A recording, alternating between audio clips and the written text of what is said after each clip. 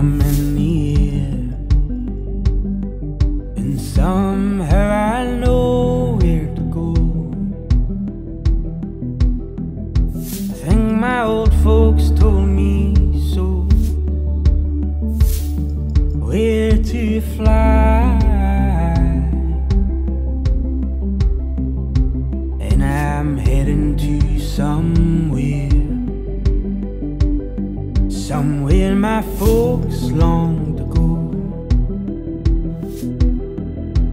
Where my children get to go. I will never be.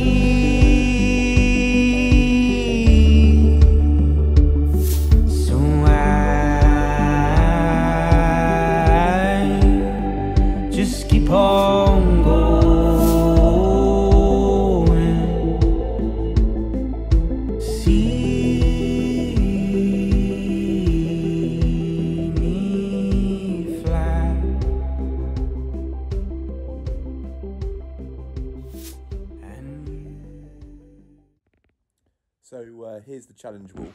As you can see, it's not quite finished yet.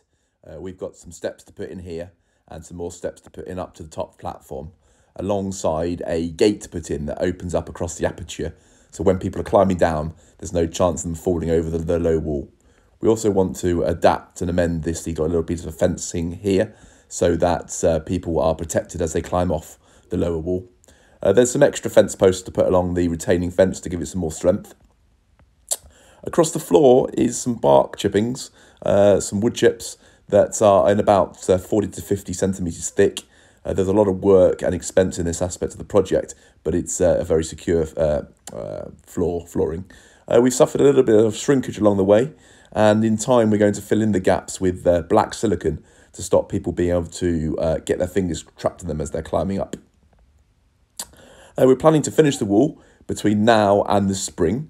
Uh, we're not able to use the wall uh, under the uh, social distancing COVID restrictions. Uh, in fact, it's uh, the challenge wall is the antithesis of uh, social distancing. We want the students to get really close together, to support each other, to help each other to get over the wall safely. So we'll hold off using it until we're, we're safe and okay to do so.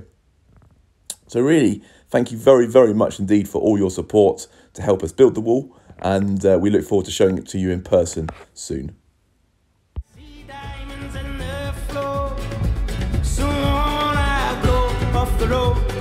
Don't stand on the toe. Jack in a